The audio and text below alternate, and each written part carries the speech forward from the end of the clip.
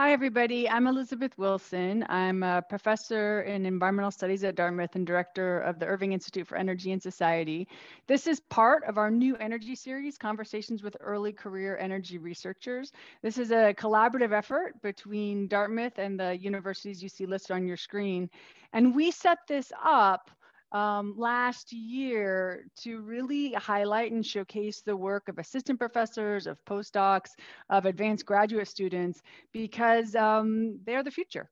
And understanding where their research is leading us is absolutely critical in this time of, of energy and societal change, energy system and societal change. And today I'm thrilled to introduce you to Sarah Jordaan and her talk today on grid scale life cycle assessment of electricity generation builds on a long record of scholarship as an assistant professor at Hopkins before at University of Calgary.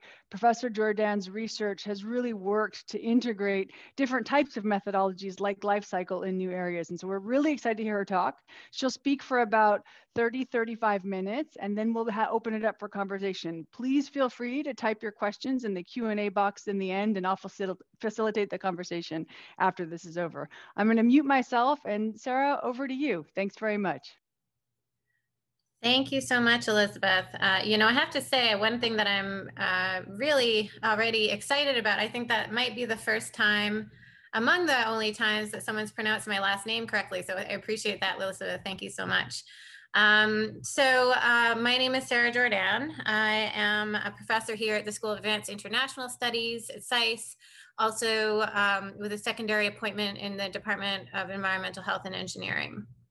So I'll just give a quick introduction to my research group. We have three different groups or different uh, research areas, life cycle assessment, that's analysis of environmental burdens of products and processes from materials extraction through waste disposal.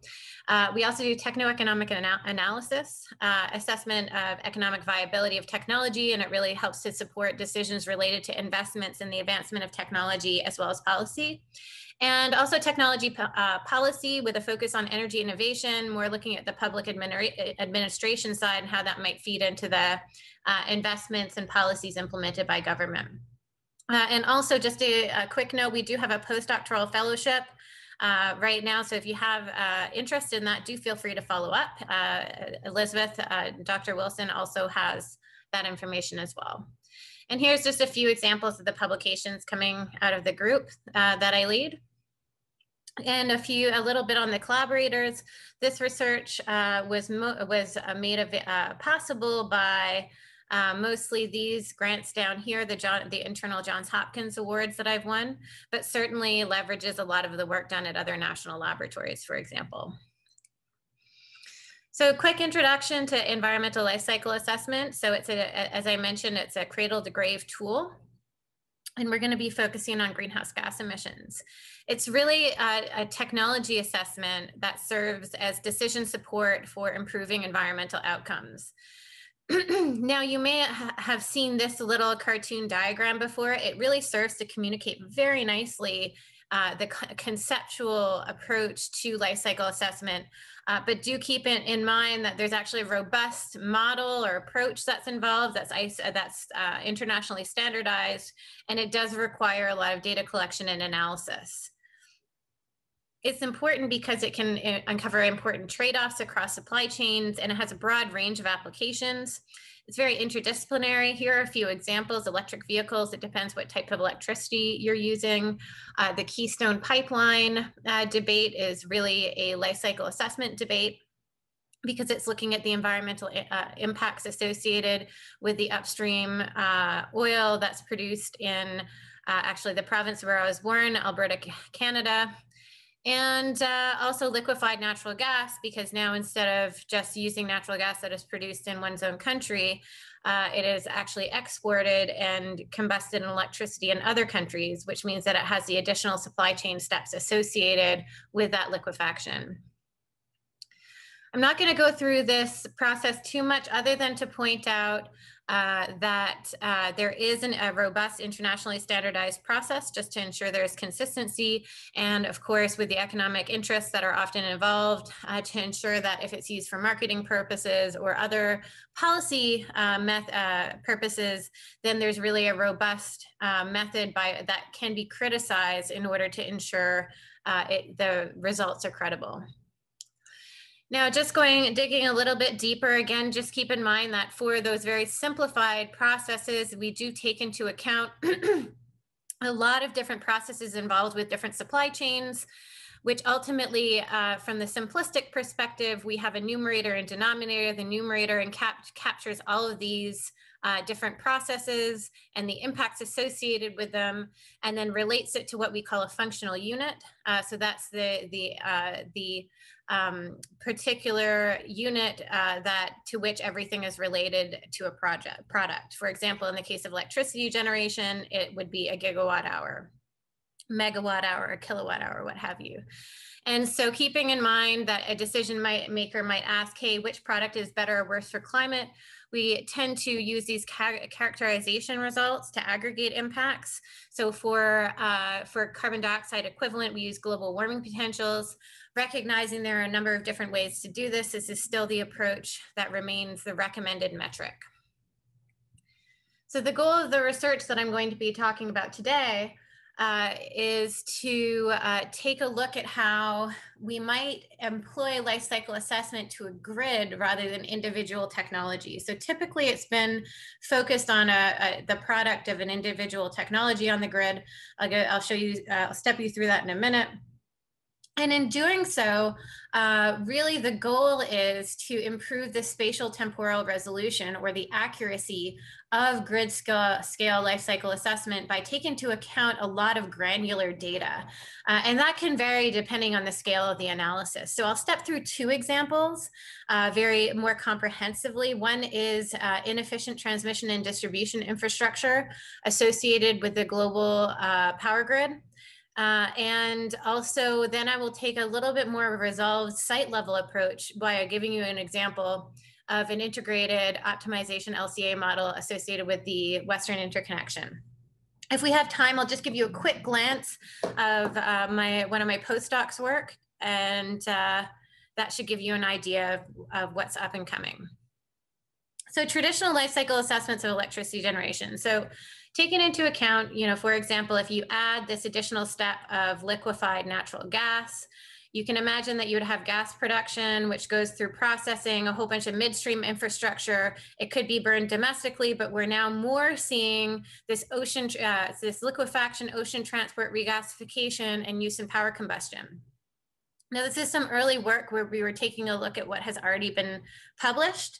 Uh, and so what you'll see here is uh, that these are all LCAs looking at the same thing. So we look, took a look at the upstream natural gas and we added on the additional liquefaction uh, through end use stage, assuming it's exported out of the country.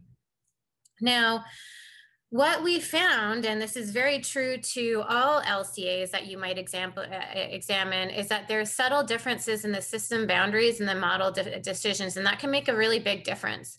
And we found that that you know clearly it's very applicable for the region of study as well. So, for example, um, there can even be different reporting thresholds associated with the facilities that are included in the analysis and reported by governments. And that can impact the result, which might not even necessarily mean there's greater or less, uh, greater or fewer emissions.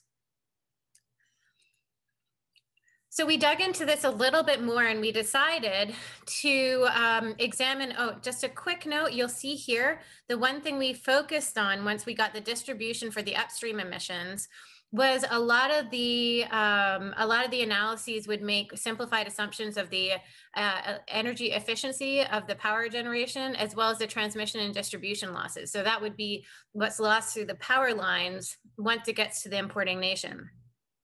So we took a look at this and we decided to characterize these based on published data for each of the countries. And we found that this, uh, this country level efficiency Uh, and the transmission and distribution losses can really have a substantial impact on what the results look like. So it's not just what type of technology you use, it's really regionally dependent. So you might take a look, for example, at India, which has very high transmission and distribution losses in the power grid and also lower efficiency than some other countries uh, for power generation.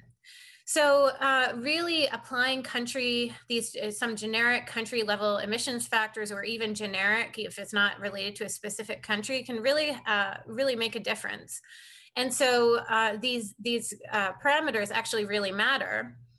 And uh, what we were really surprised about, or what I was really surprised about, was the fact that transmission and distribution matter, uh, losses mattered so much, which really led to some dis discussions with my collaborator, uh, Dr. Kavita Surana. And so uh, we spent many hours in my office discussing this and how it really hasn't been well characterized in life cycle assessment. So what does it mean to lose electricity within the power grid to the amount of electricity that's uh, generated and the emissions associated with that electricity?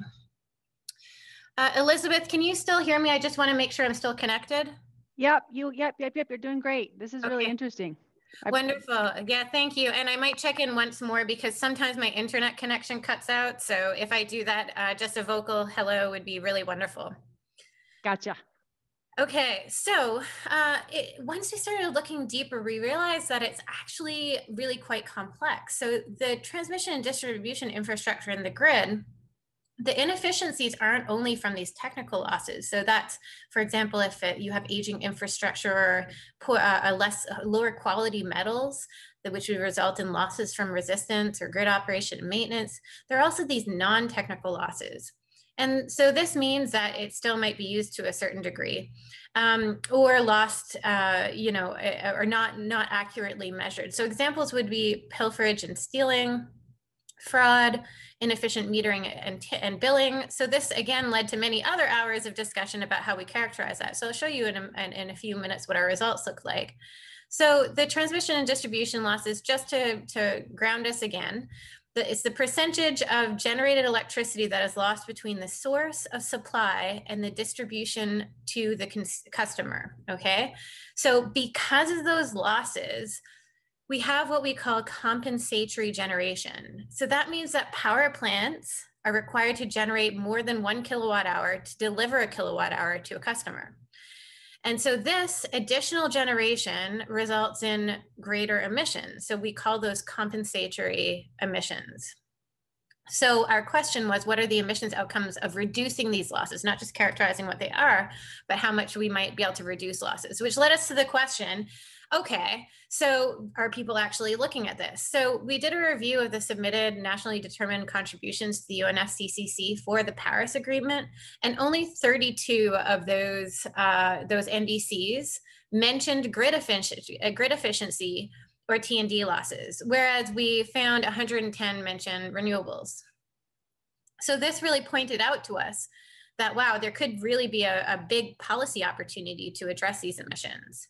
So how did we characterize them? So I'm just going to give a plug for my colleague at, at the National Renewable Energy Laboratory, Garvin Heath Research. Um, what he did uh, and his group, his colleagues, is that they did a large scale systematic review of existing LCAs. And of course, I noted before those slight variations in results based on the system's boundaries. Well, so what they did was they, they collected hundreds of different life cycle assessments and they did the systematic review and what is called harmonization. So they adjusted those estimates to be more consistent and comparable, okay?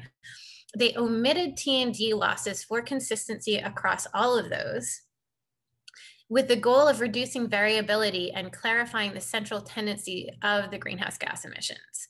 So they, they have a, a published data set where they characterize, where, where they produce all of these life cycle assessments, both published and harmonized. So back to our question. How much do they matter? So really this slight difference in system boundaries matters a lot. So you can look at electricity, the emissions per unit electricity generated. This is the functional unit that I mentioned before. And here you only look up to the electricity generation at the power plant. Now, what we decided to do is say, okay, well, let's take it a step further and characterize not just the electricity generation at the power plant, but the transmission and distribution, so i.e. the delivery to the consumers.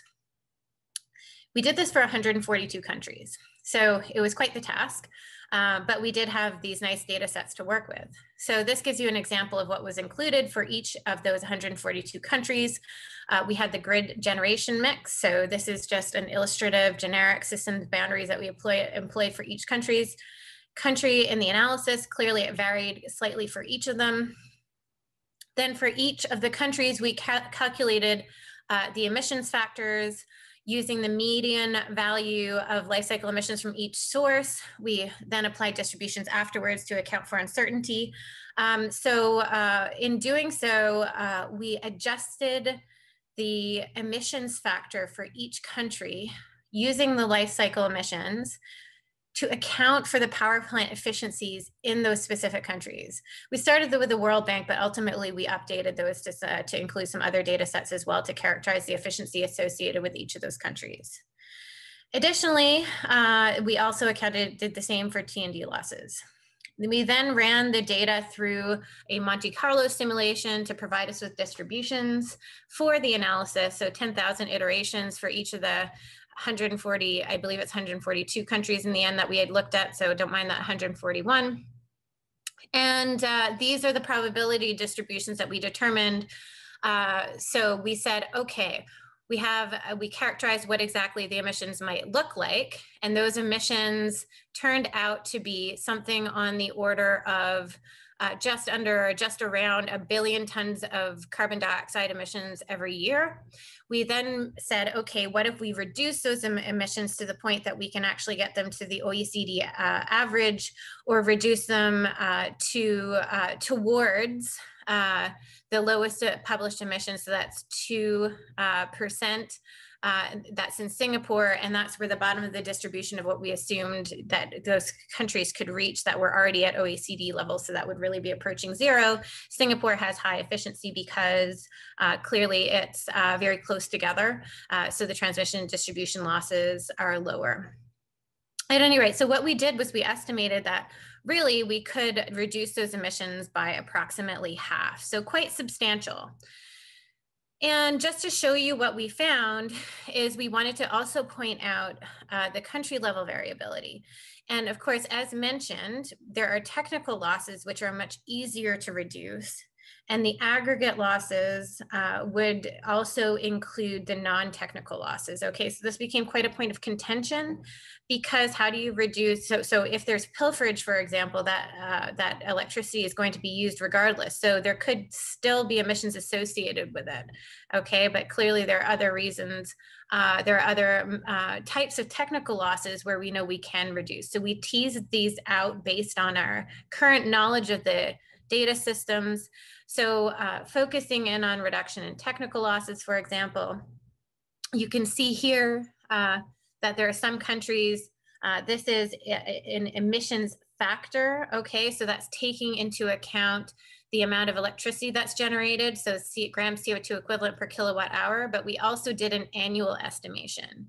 The reason why that's important is you'll notice, for example, uh, the United States and India look like the reduction potential is not very big, but their generation is so high that really some small reductions can be equivalent to other countries. So we wanted to capture that in order to help, uh, help with developing the best solutions. So what does this mean for future emissions? So what we did is we examined these uh, emissions outcomes under three generation scenarios. So we use the International Energy Agency's uh, scenarios of current policies, uh, the new policy scenario, and the sustainable development scenario. So that would represent uh, policies that are were legislated as of mid uh, 2017, uh, representative of the information at the time the analysis was completed. Uh, and then those that would be announced policies and those as if we were to be meeting sustainable development goals in the Paris Agreement. And so we don't know what's happening going into the future. Hopefully, with the new administration, there will be a lot more action towards reducing emissions. But again, it's we're facing an uncertain future. So, looking under all of these potential scenarios moving into the into the future, let's take a look at 2040. Okay, so this green one, you would say, wow, it doesn't really have that big of an effect. Well, not necessarily. That's a sustainable development scenario. So just because the emissions reduction potential is lower, it doesn't necessarily mean that there's not additional benefits.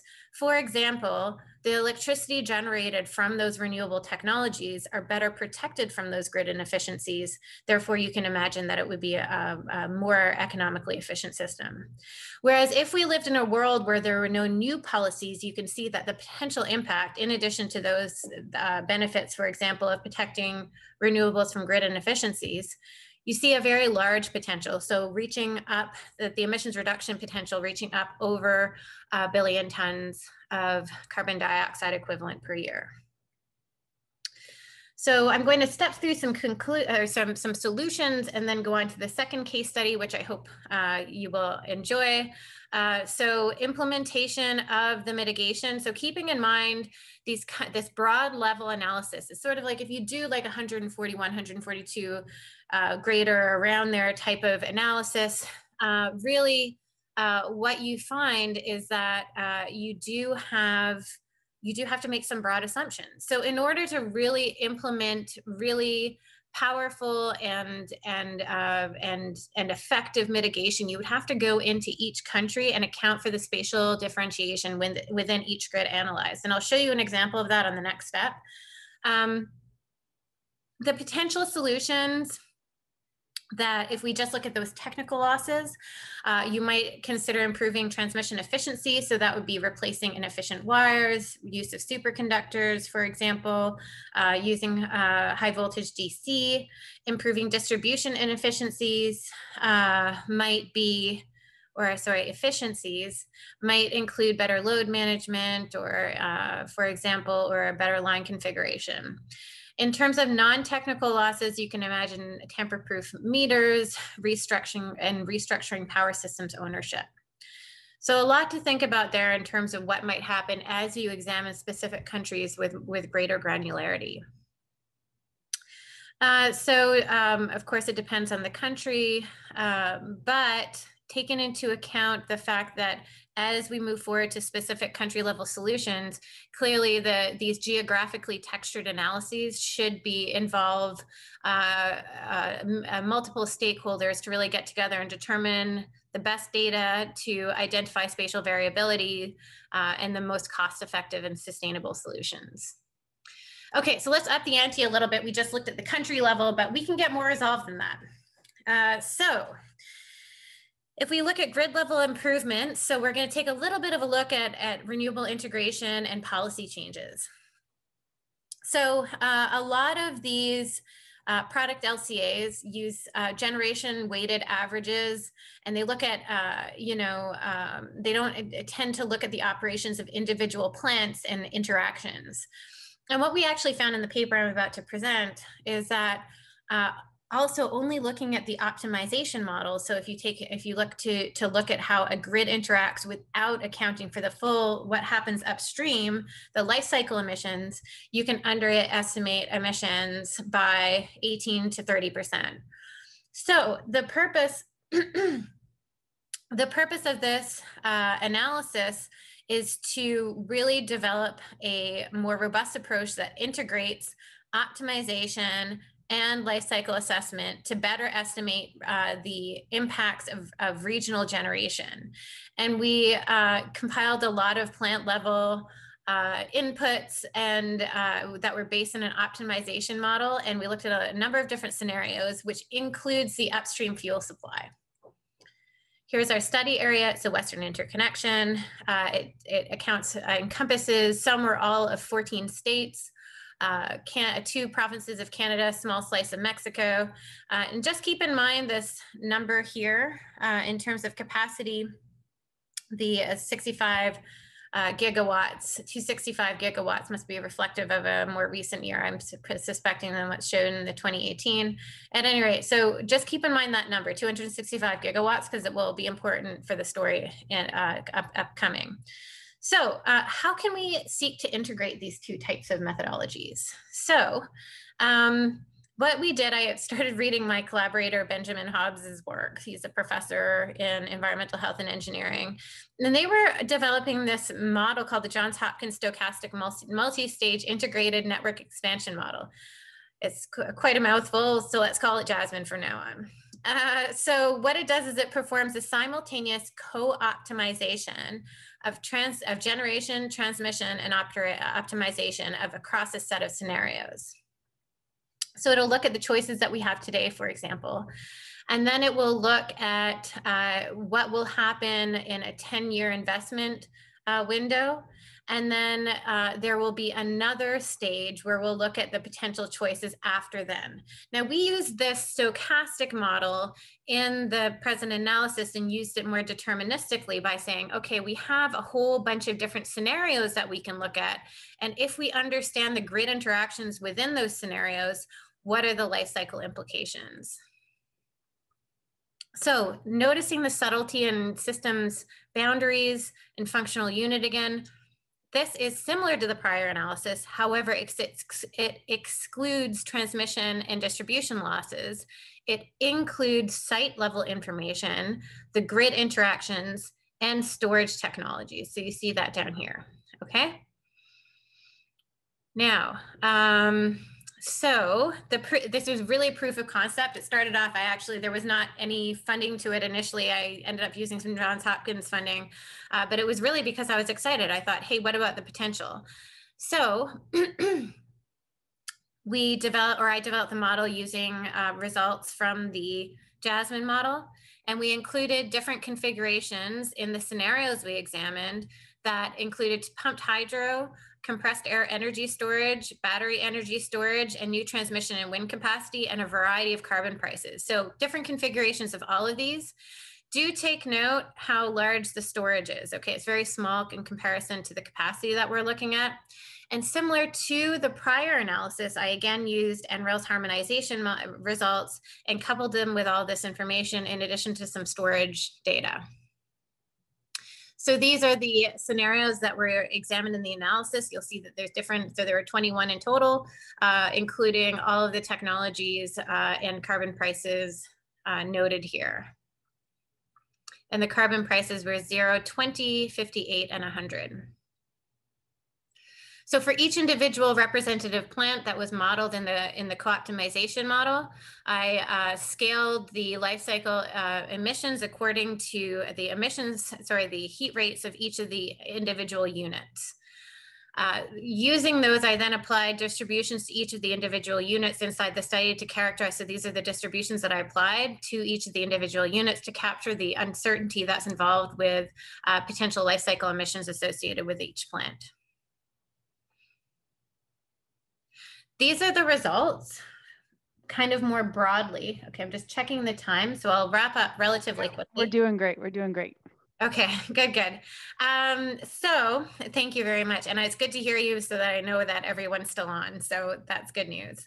Um, so uh, what you'll see here, uh, these are the results of not only the scenarios, but the technologies. The reason why uh, that I included the technologies here is to really show that you get the greatest emissions reduction by clearly not using sources that result in high levels of emissions. Okay, but we know that there are challenges associated with the other sources.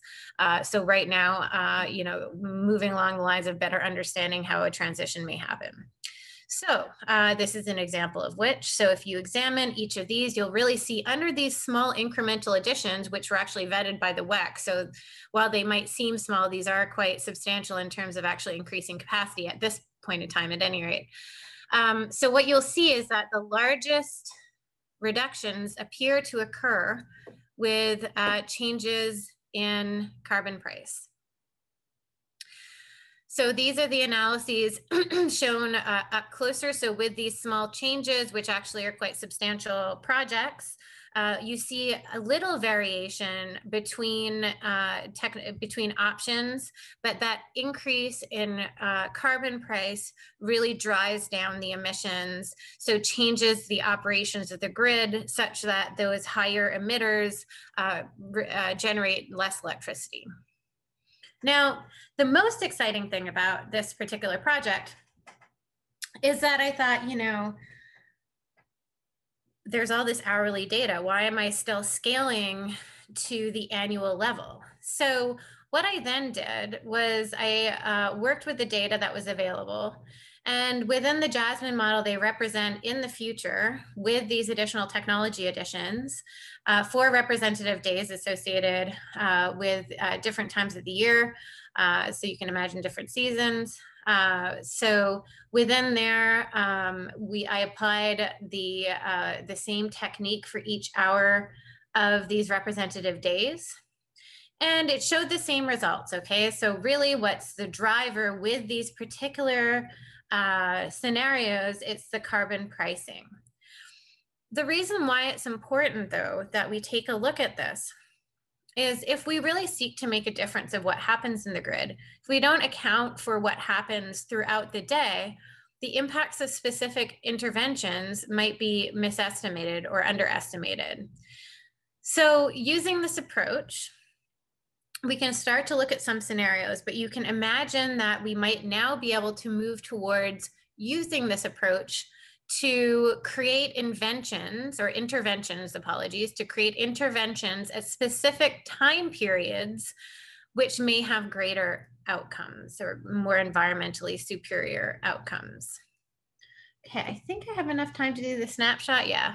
So, okay, snapshot. Uh, U.S. natural gas fired electricity. So again, this is my work uh, with Dr. Sakineh Tavakkoli, who's been uh, developing this model. I did want to emphasize, sorry, excuse me, just have a sip of tea. So I did want to emphasize, um, this is uh, this work is done with quite substantial infrastructure data sets, but the impacts of those efficiencies over time really matter. So in the US grid, we have seen an increase in efficiency of the the natural gas fired power fleet okay and so all these studies that we see talking about upstream emissions uh, point out really important emissions that must be reduced However, in the comparisons, for example, to higher carbon sources, it's still really important to take into account the efficiency of power generation. Okay, so here you see the amount of emissions per um, uh, unit electricity generated are decreasing over time. But there's an increase in electricity generated from natural gas fired power. So do keep in mind that if you see these uh, efficiency improvements, it doesn't necessarily mean that if you're expanding the amount of electricity generated from that particular source, that it doesn't mean that those are reducing. You'll see that they're increasing over time in uh, within the displacement of, of the older coal fire power. That becomes more important, however, if we start to think of futures where we have less nuclear power, for example. Okay, so really that caveat of nat natural gas can have some form of environmental benefit necessitates the replacement of a higher carbon source. Okay, into the future, these types of arguments uh, become more tricky. so, uh, conclusions. Uh, the mitigation potential of reducing transmission and distribution losses is often overlooked. So it's approximately a billion tons of carbon dioxide equivalent per year, uh, which we estimate can be cut in half just by um, some improvements in those countries which already have relatively good efficiency, and those uh, those countries which have substantial uh, T&D losses reaching OECD levels or nearing OECD levels. Not only are these emissions reduced, but keep in mind, for example, as we look through the sustainable, the EIA sustainable development scenario, that those low carbon investments are also protected from grid inefficiencies. but I'm just going to take a minute to point out the very real need to refine analyses with more granular data, and then you can pinpoint these optimal solutions that we might be able to see, for example, in the second case study that we looked at. Um, these, uh, so looking at the second, really it points out the importance of these detailed evaluations of regional grid impacts because they can not only uncover more realistic uh, estimates of the trade-offs, but they can also contribute towards these planning decisions. Um, what we notice is that there's uh, the grid level emissions uh, really only have subtle differences based on this level of capacity additions okay? But that doesn't mean that there wouldn't be greater impact if we looked towards uh, more ambitious decarbonization using uh, lower carbon technologies. Carbon pricing however if we look especially on the short term i like to point this out. So if we look in the short term you increase you have a carbon price it can really result in substantial impact on the emissions by lowering the operation of these fossil fuel burning plants I would uh, I would like to also emphasize that having better spatially resolved upstream characterization, especially of natural gas, could further improve results and point out areas where emissions can be reduced. And uh, also, as we move forward, uh, using such approaches to high renewable storage scenarios, I think could really be beneficial because you can point out, for example, okay, so if we would need to add this much of this technology in order for it to be equivalent to a higher carbon price, or how can we figure out those nice middle grounds where we might be doing both?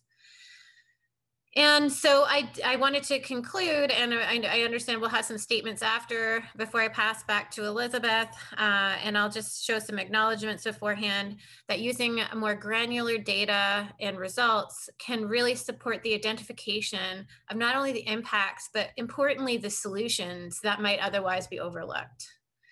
So just a few acknowledgements to my collaborators and to the data uh, that we use within these analyses, most of these analyses.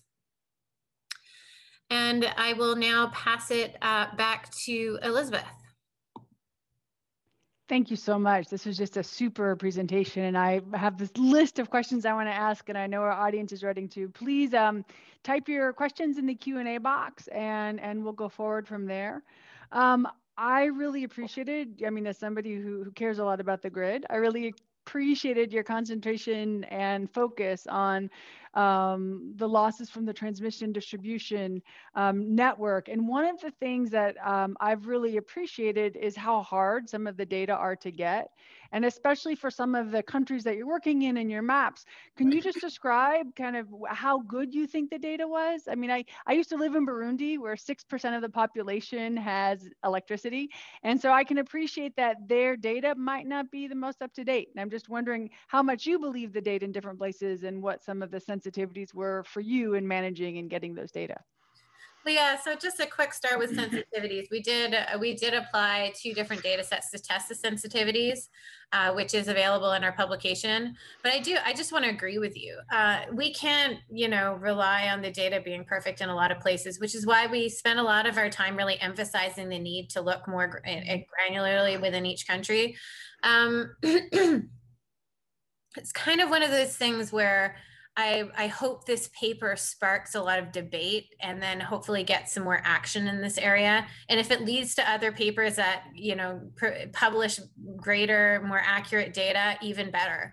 But I would say that it's relatively accurate in you know a lot of the developed countries but there certainly would be some questions for some of the and and there's like i mean even if you look at somewhere like india they're improving substantially like every right. year like from the our first data set that we included there was like you know in our preliminary analysis i think there were a couple of percent uh, improvements in just what was reported again we don't know everything that's going on on the ground and that's the limitation to these global types of studies.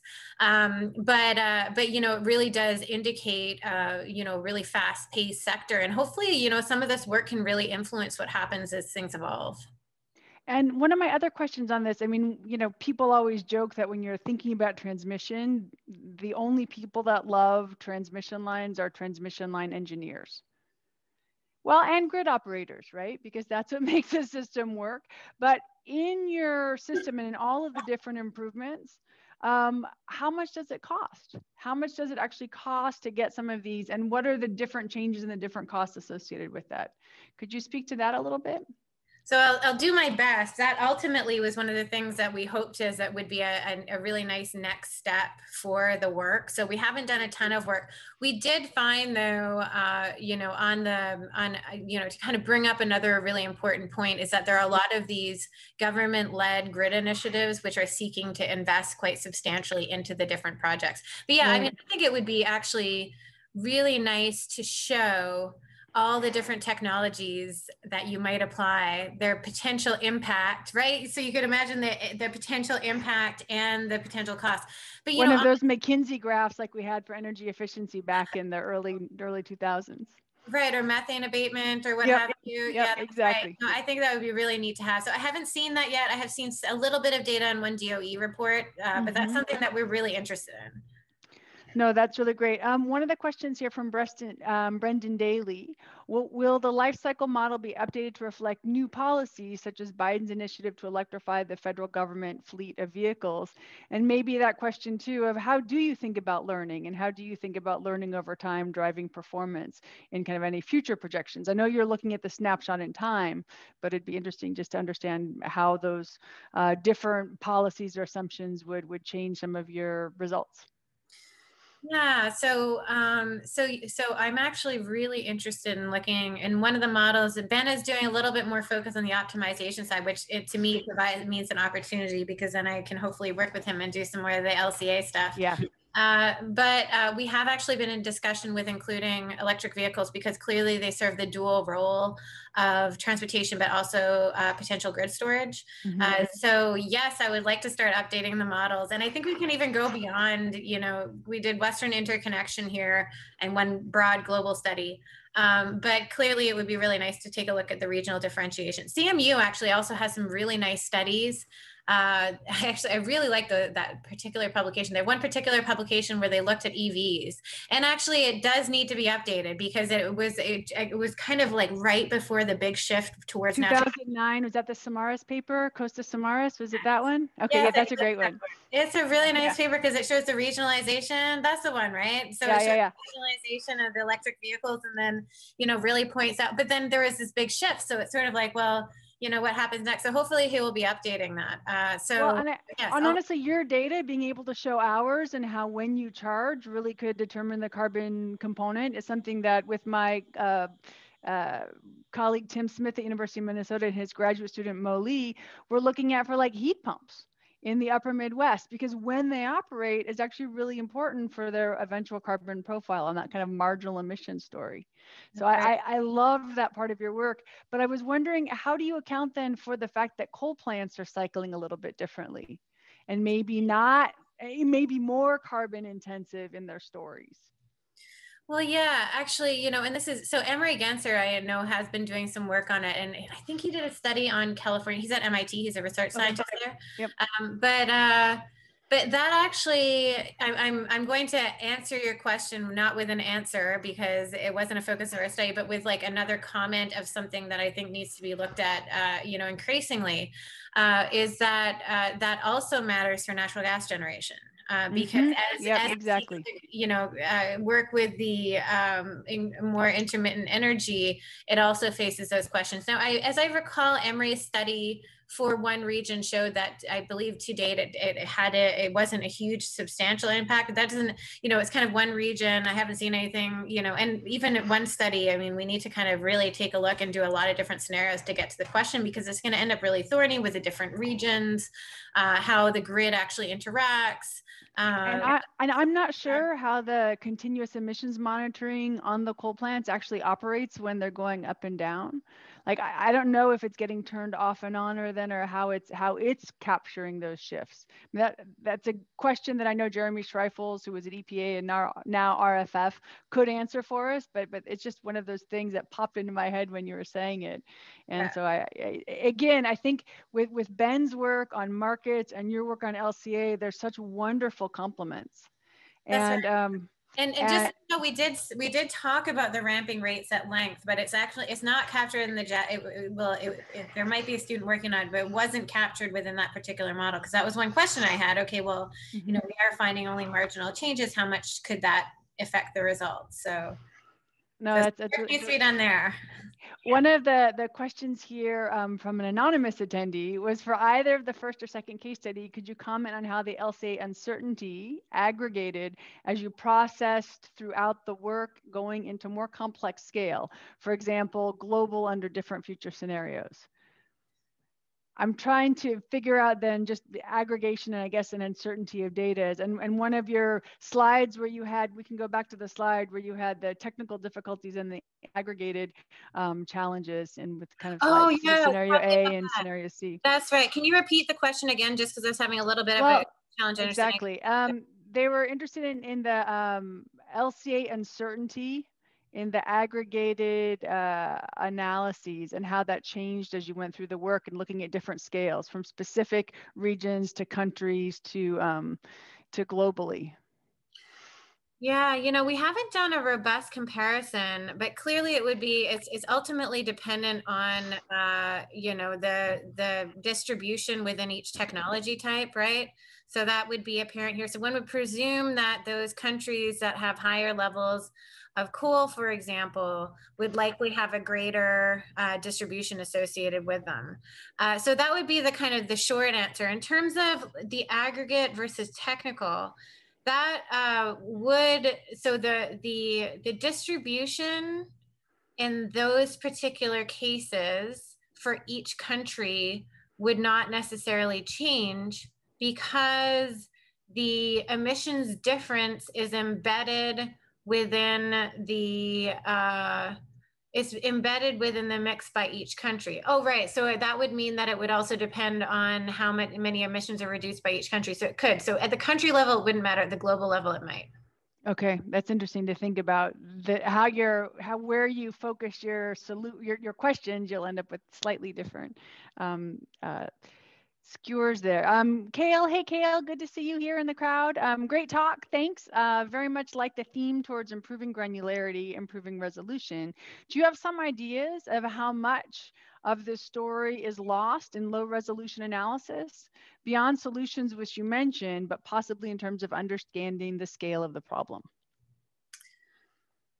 Yeah. So, you know, I actually was quite surprised. So we even just even if you even if you take global grid emissions and just do like a back that's when we were looking at it going this is actually really big so then we actually we just said okay well let's just say there's x percent of losses and do a back mm-hmm. of the envelope calculation we're like wow it's actually on track now i would argue that i haven't seen and actually Kostas wrote this uh Samaras wrote that who I haven't met in person but we sometimes email he wrote he was ended up being uh, one of the people who wrote a commentary about our piece. And, you know, mm-hmm. it, it's actually the first of its kind.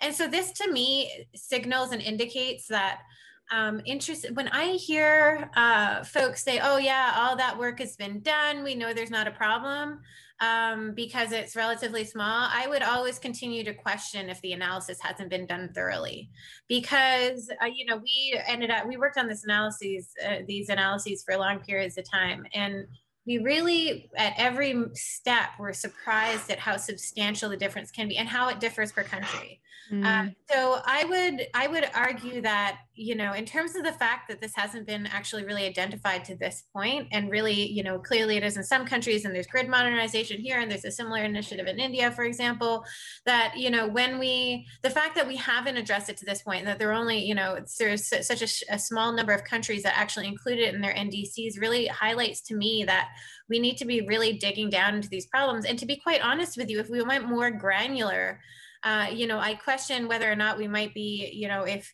in certain regions there can sometimes be a, a, really heavily loaded transmission line which has very high losses. So how much of these can, you know, how much of the, I haven't even seen anything. Could this be like a similar analogy to the super emitters and the methane emissions, where if mm-hmm. we like really focus on on reducing some big losses, we can have quite a big impact. So I would argue, you know, if you hear anybody say, oh, everyone's already looked at that, it's already been done, make sure the analysis has been, been done really carefully and thoroughly. And, and now that we're getting better data, taking into account the more improved spatial data, you see limitations of the data that I used even still, that's going to get better over time. So hopefully in 10 years, someone will be coming along, you know, hey, I've just done the update on this using all the granular data that we have available now. And we found that we can improve these you know five problems with this these three technologies very simply. So i would just recommend to keep digging and make sure that um, it's not just broad statements of people saying oh someone looked at that 10 years ago and it's not a problem because we were really surprised. I i mean one of the questions and i think you had this in a slide for you know, to be able to capture this 500 million ton reduction what is a hardware issue? What is a software issue? What is a grid operator issue? I mean how do those different technological or behavioral components kind of kind of break down? Because when you're going over some of the pieces i appreciated that some of them might be behavioral and some of them might be politically impossible. And some of them might be requiring a lot of capital whereas others you could do with a control system update and so yeah. I just didn't know from from um, kind of the how to capture these emissions, like what the different pieces and technological components could be. Yeah, so I'm just gonna, you know, another thing that we spent a lot of time looking at. So, uh, so we know that you know in in places that have experienced war, for example, uh, there can actually be quite substantial in increases in uh, losses in particular systems, whether they're fragile or they've experienced some uh, some level of uh, environmental challenges. Uh, so really, this points out the fact that these aren't always you know, problems that could be solved using simple, uh, simple technologies alone. So you're you're directly on point.